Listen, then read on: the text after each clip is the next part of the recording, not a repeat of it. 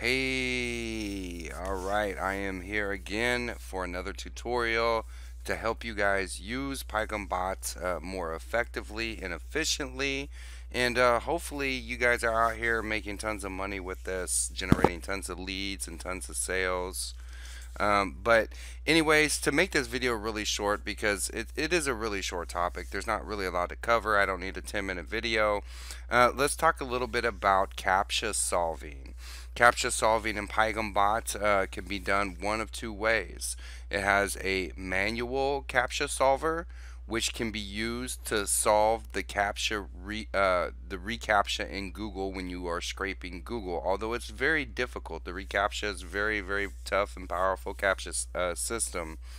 Um, but it can be used uh, for that during the scraping of Google.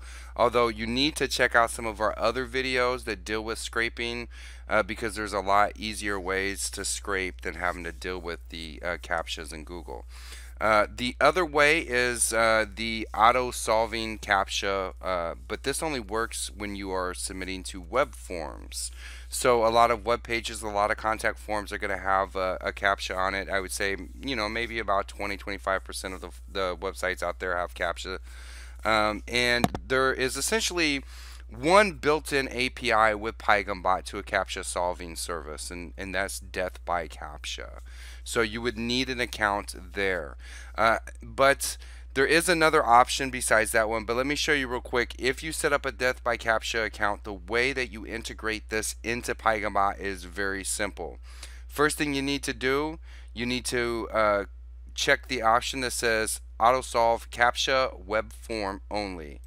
Once you do that, then you're going to have this pop-up that comes up. You enter your Death by CAPTCHA username. You enter your Death by CAPTCHA password.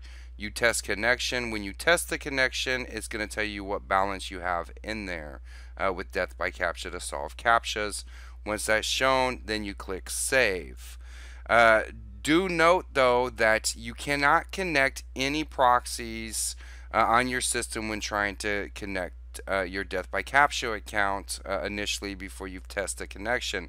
That's because Death by CAPTCHA does not allow connection to their website or servers through a proxy. So just make sure you keep note of that uh, because if you try to do that, you're going to get an error. So the other auto solving option, um, which is not actually built into Paigham Bot, and it involves another third party application. Uh, a lot of people are using uh, GSA CAPTCHA Solver or CAPTCHA Breaker. Um, it's a one-time lifetime license fee. It's $99 for, for a lifetime license for the application.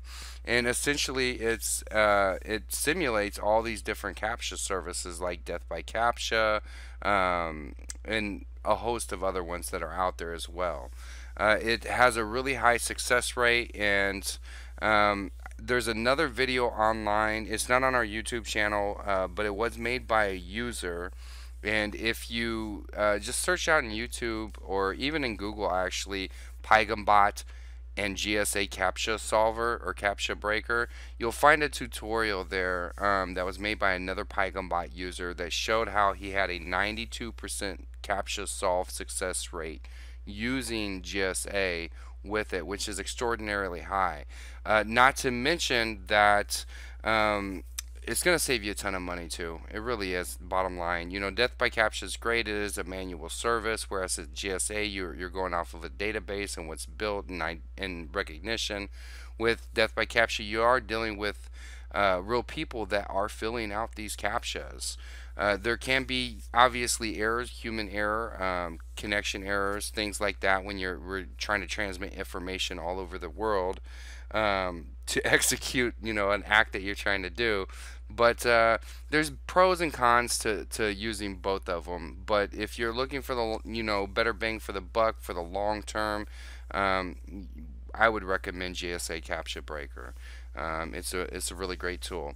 Anyways that pretty much sums up everything about the CAPTCHA solving and how it works. The manual solving, uh, manual CAPTCHA solving can be utilized in the web forms, the, the contact form pages as you're going through. You can set that up so the CAPTCHA will pop up, a pop up and you can manually solve it. You can do the same thing when scraping Google um, with their reCAPTCHA when they throw a CAPTCHA, or you can choose to use the auto uh, CAPTCHA solving option and connect a death by CAPTCHA account, and or you can use the GSA CAPTCHA breaker. Um, and there is a little bit of setup with that third party application so you're definitely going to want to find that video that shows you how to do it uh, just because of pro proprietary reasons. I can't put that video in this video and I want to keep this video short anyway. So um, if you're interested in it it's well worth checking out uh, anyways you guys keep on keeping on and I will talk to you in the next uh, episode